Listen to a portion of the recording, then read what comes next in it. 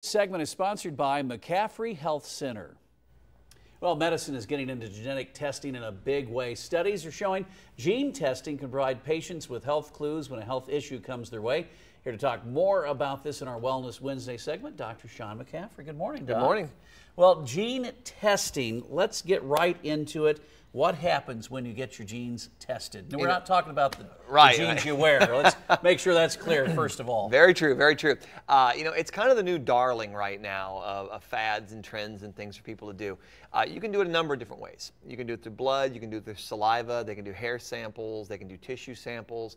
Uh, there's different purposes for why they do it, but those are really the key ways to do it. You order a kit, you can do a lot of it at home. Unless it's blood, you'll have to have that drawn somewhere. Mm -hmm. Send it off and you're done. So when you send off a saliva sample or some other samples other than blood mm -hmm. in these home kits, and you hear these uh, different ancestry type oh, yeah. places yep. have that as well that they're uh, doing the DNA testing. When you send it off, how long does it typically take to get the results back? You know, it depends on what you're after. So if you're just doing a simple home test one, usually three to five days, they'll have that turned around and done for you. Mm -hmm. If mm-hmm. you're getting into more of the, uh, I guess, the medical side of things, it can take upwards of 14. If you do crime lab DNA, it can take 14 days or so. But really, inside two weeks, and you're getting your results back. Right, and I would imagine that the uh, the blood testing is a little more involved because it probably gets a little more detailed as far as trying to find specific things from a medical standpoint. So let's talk about that. Mm -hmm. When what kind of results do you get from gene testing? You know, it's not as glorified as we'd like to make it out to be. You know, the the companies, the main companies that are out there right now doing the work,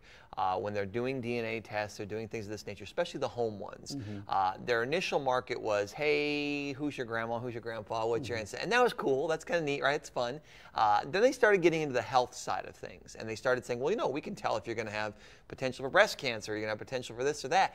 It's very sketchy uh, because there's so many other factors that play a role in this, you know, and that's one of the things that people have to be very, very careful with. When you do genetic testing or you're doing DNA testing and things of this nature, you have to understand that DNA is nothing but a blueprint. Mm -hmm. It's, a, it's a library book. If you never open the book, it will sit on your shelf forever and do nothing. And that's the biggest key when understanding DNA and how genes work. The percentage of people that have a genetic defect, a noticeable genetic defect, is somewhere between 2 to 4% of the Earth's population.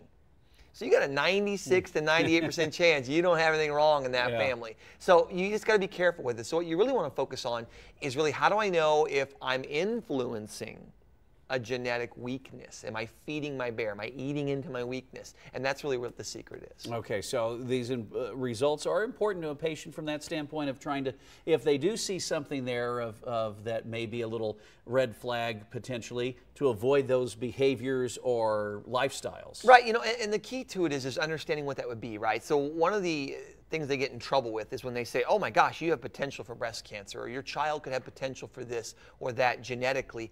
It could be one in a billion chance. And, you know, certain, depending on where the, the doctors are at this time and their knowledge base and what each individual hospital is doing, mm -hmm. sometimes they make not such good suggestions. Yeah. Like, now, oh my gosh, you could have a problem. Now, your, your, your medical center does offer a test. Tell us about that. We do. We do an IUP. It's an integrated urinalysis panel, and it's considered an epigenetic profile.